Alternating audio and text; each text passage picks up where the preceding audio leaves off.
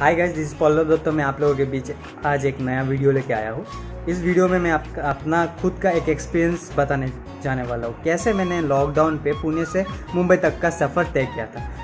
क्योंकि मैंने मैंने जब सोचा था मैं वीडियो शूट करूँगा क्योंकि मैं मुंबई से मतलब पुणे से महाराष्ट्र से मैं आसाम आने तक का सफ़र का जो वीडियो बनाना चाह रहा था लेकिन कुछ कारण के वजह से मैंने ये पूरा कंप्लीट वीडियो शूट कर नहीं पाया। तो मैं इस वीडियो में सिर्फ़ आपको पुणे से मुंबई तक का सफ़र ही दिखाने जाने वाला हूँ। कैसे पुणे पुणे से मुंबई तक का जो रोड है एक्सप्रेस हाईवे रोड कितना सुंदर है क्या क्या नज़ारा मिलता है, इस वीडियो में आपको सब कुछ मिल जाएगा। तो आइए गाइस लास्ट तक देखना वीडियो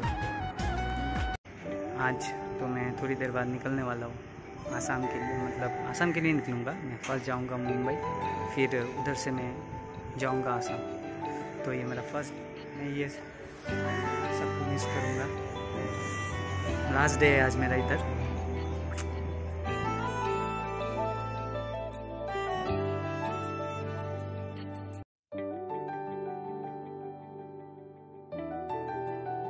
तो हम निकल गए हैं अभी जाने के लिए।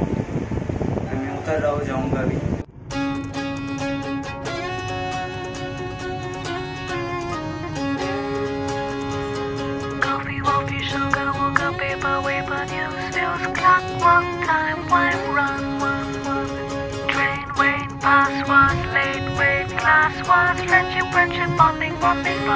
बदला न सारा यूँ यूँ यूँ।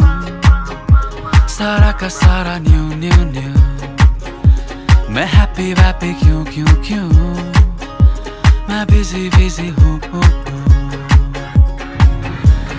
धीमे धीमे slowly slowly I'm learning learning सीखूं।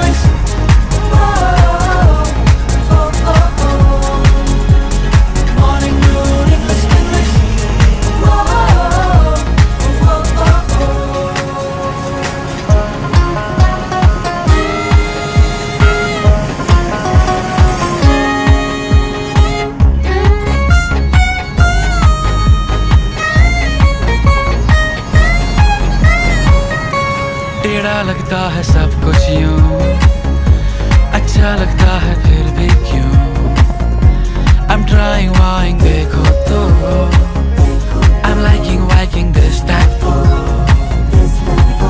हा, धीमे धीमे slowly slowly I'm learning learning सीखूं सीखूं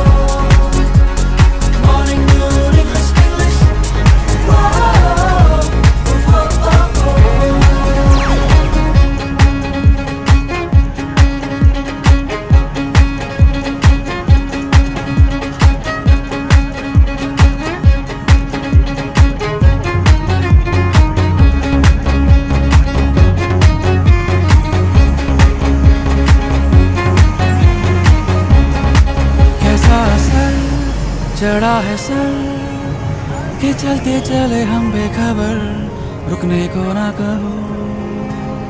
तो यही था मेरा पुणे टू मुंबई तक का वीडियो हम्म, सोचा था और अच्छे से करूँ लेकिन कर नहीं पाया। आ, तो होप आपको सभी को अच्छा लगा होगा वीडियो तो लाइक करना शेयर करना कमेंट करना और सब्सक्राइब करना मत भूलना। धन्यवाद।